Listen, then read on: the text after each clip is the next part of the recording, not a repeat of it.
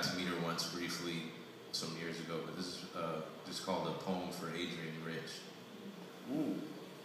Don't miss the truth in this. A great tree has fallen.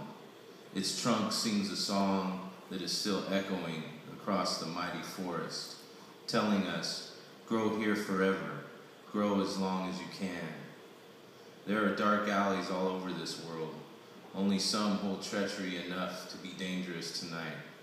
I have found the ones with highest risk on occasion as I traveled around in my lifetime so far. I can tell you where there's a dark alley not far from here right now, full of danger, full of enough treachery to lose life and limb there, the kind of treachery you might not make it back from, the same treachery that is held tightly like a secret, not far from here in another direction. Out in the cold, dark water just offshore right now, millions of teeth in the mouths of thousands of sharks, lurking in waters constantly near every shore in this world. Yet so few people ever meet their end this way. More will die in dark alleyways tonight, even more in their homes or in hospital beds. The trees have never told us their story in vain. It is always a collective we who have, who have failed to listen. We have heard them fall in our minds without ever venturing into the forest to say goodbye. I only believe in the trees I see to tell me anything. I go to forests to talk with them myself. I think of what they have told me in all my darkest moments, my brightest ones as well. The dark alleyways cut me wide open once. I laid there bleeding next to another man who had fallen by my hand.